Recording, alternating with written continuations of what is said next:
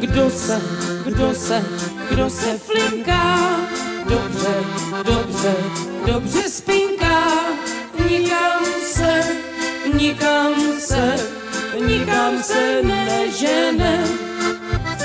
Když je, když je, když je třeba kousek, kousek, kousek chleba, vždycky se, vždycky se, vždycky se sežene.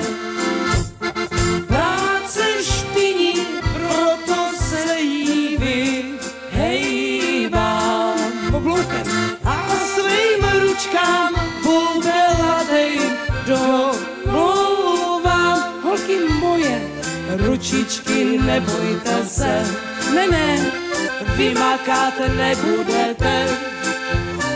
Však vy se práci, však vy se práci vyhnout dovedete. A jak pěkně, co byste z toho měli, i kdybyste se dřeli, nakonec byste, nakonec byste ještě zdřevěněli.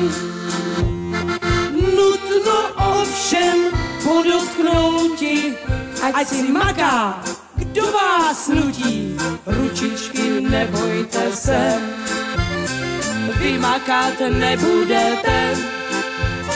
Však vy se práci, však vy se práci vyhnout dovedete. To oni umějí. No my jsme vás samozřejmě v úvodu této žižkovské písně zapomněli upozornit, že tato písnička není vůbec písničkou agitační a to znamená, že nikoho k ničemu nevyzývá. No jenom aby. No, na tož pak k práci, to ani omylem. Tuhle písničku si totiž složili Žižkoští gastarbajtři, kteří doufali, že si ji nejenom ku naší a ku jejich, ale zejména ku vaší radosti zaspíváme všichni společně ještě jednou.